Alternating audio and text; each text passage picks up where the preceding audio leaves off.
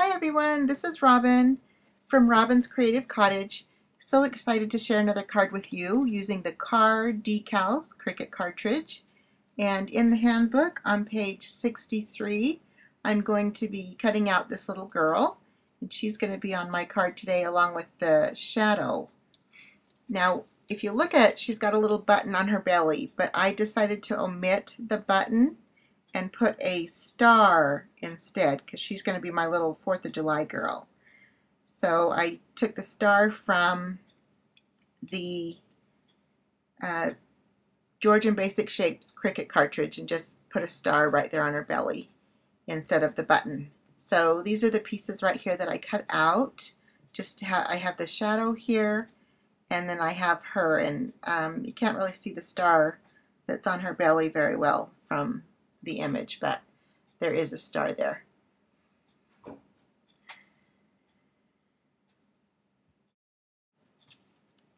So I'm going to go ahead and put a little bit of ink around the edges of the shadow and I'm using the tea dye distress ink from Tim Holtz just to give it a little bit of color. And so using my two-way glue pen, just adding a little bit of glue around the girl so I can layer on top of the shadow. So I'm going to go ahead and add on her little smile. Put her smile on the face, her face. And then I'm just going to get my uh, the little face feature, the template that I had, and just mark where her eyes were. And then here's the little star that I had cut out. And I put the star on her shirt. And then I just used a Copic marker to dot where her eyes would be.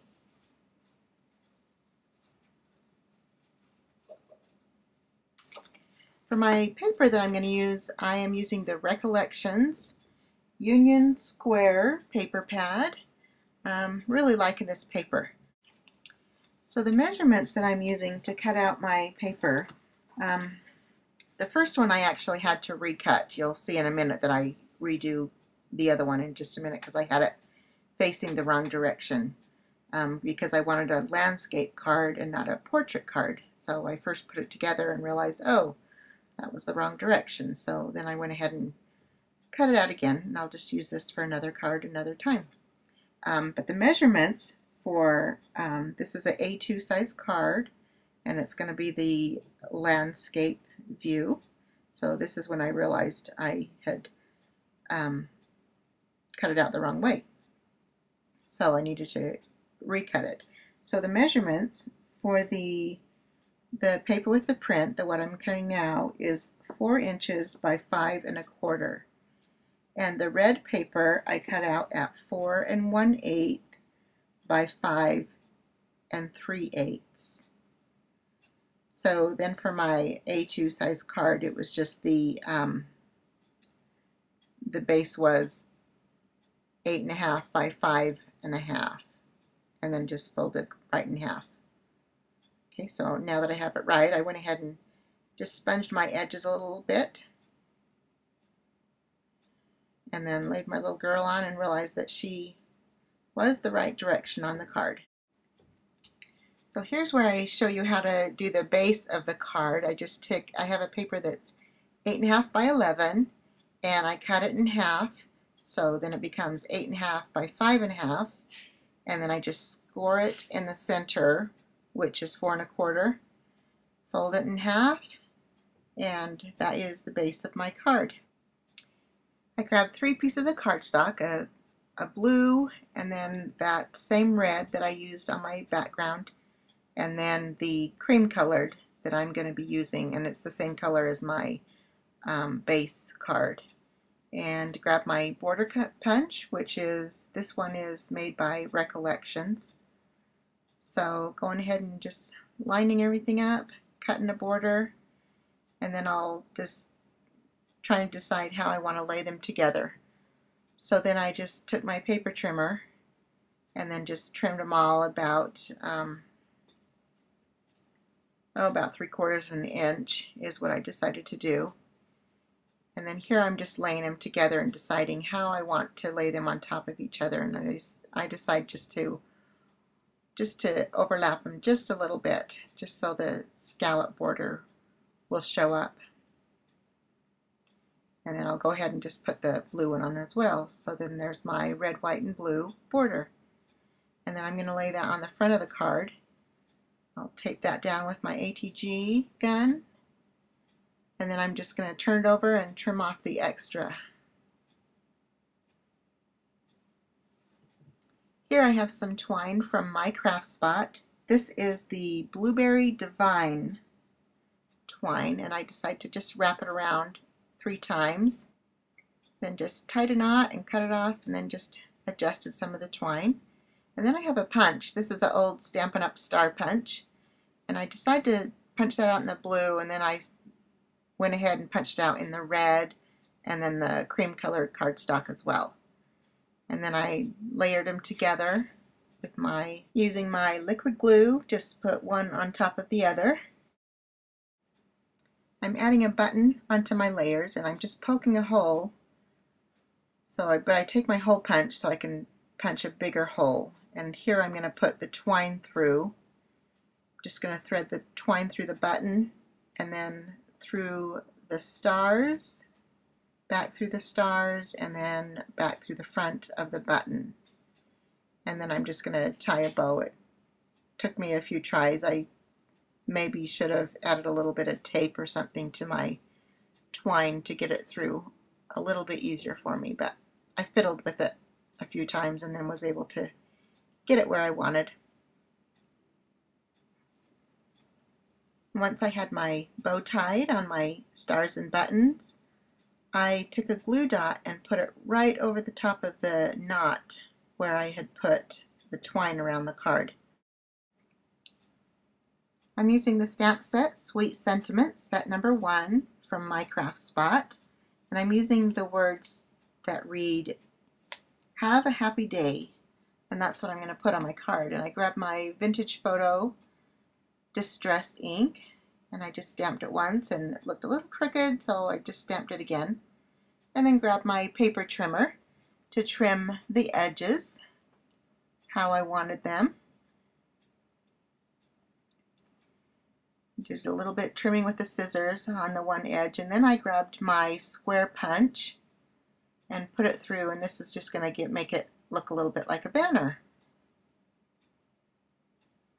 A quick tip that I, you, I learned from another YouTuber so not my original idea to use the square punch. So just deciding where I want to put it on my card but I'll decide that in a minute.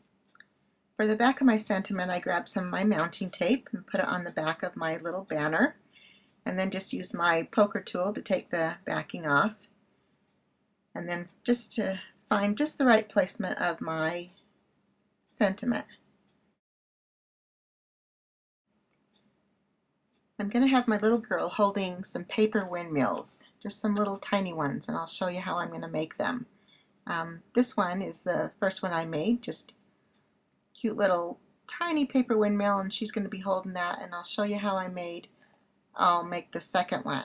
To make the little paper windmill I have a one inch square piece of cardstock and then I just score it from corner to corner and then I'm just going to trim it um, oh, about three quarters of the way on each score line and then from there I just fold it over and just take the points to the center just a little bit farther than the center than that. And then I just take my hole punch and punch it right in the center. And then with a brad, poke it right through. And then there is my little paper windmill. Now I'm just working on the placement of where I want the windmills on my card. And I decide to get a couple little toothpicks. That's what I'll use, that she'll, she'll use those to hold the windmills. So I go ahead and turn her over and add some mounting tape so that she can be popped up off my card and just put that all over my the back of my little lady. And then for my toothpicks I have my wire cutters and I'm just snipping off the points of the wire cutters and I just put a little bit of a glue dot on the back of my toothpick and attach it to the windmill and I'll do that to both of those.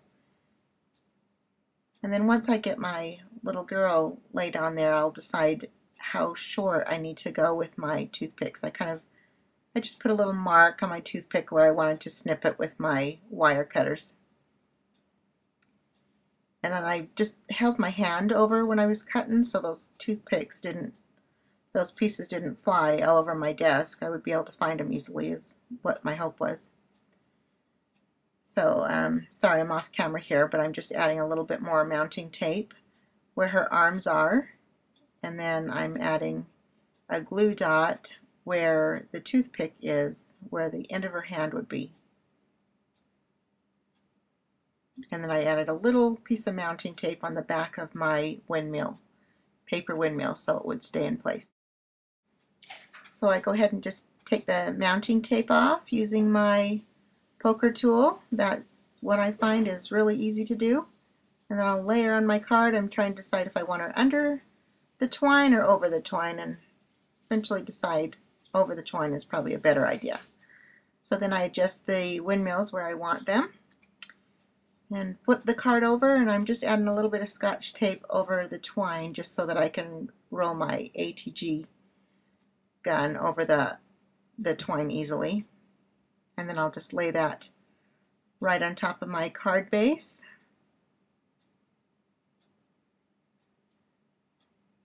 And then for the inside of the card, I decided just to add um, one of those border strips that I had cut earlier, had an extra one.